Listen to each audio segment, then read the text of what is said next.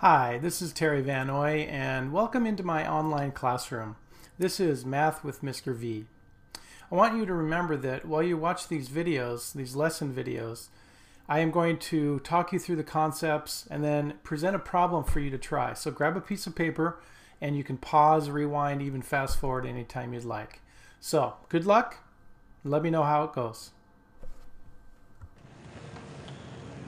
Now we're going to take a look at the arcs of a circle. An arc of a circle is the curved part on the outside, and it totally relates to the central angle that causes it. So let's look at these examples right here. We've got, um, number one, the measure of arc xq. Now since x and q are two letters, um, that is a minor arc because it goes less than halfway around the circle. And obviously I'm looking at this arc here, the curved part between x and q. So the key there is to notice that this angle in here is what's left from 180 because xs is a diameter.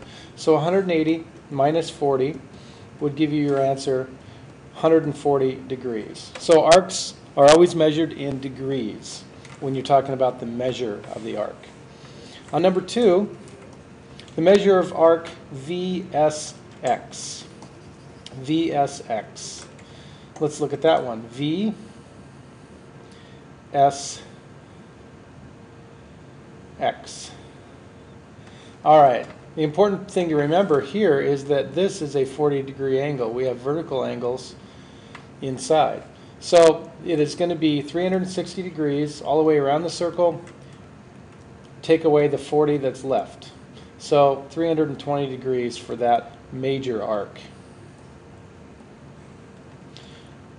Next question. What is the measure of arc QXV? QXV. QXV.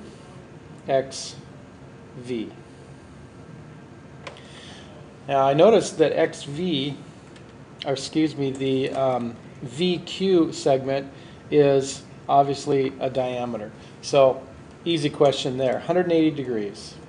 Notice that you have a semicircle arc. If it's exactly half the circle, it's a semicircle, and it's still considered a major arc. Number four, the measure of arc TSV. TSV would be here. Again, three letters to denote a major arc. So if this angle in here is 40, then this would have to be 50. Notice how it's the other part of the right angle.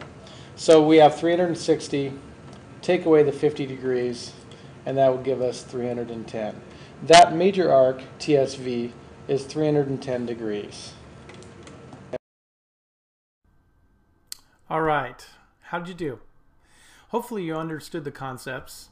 Um, remember that um, if you want a related video or a concept that's similar and or just extra practice, email me and let me know. I can record a new one for you and we can customize it. Once again, this is Terry VanNoy in my online classroom with Math with Mr. V.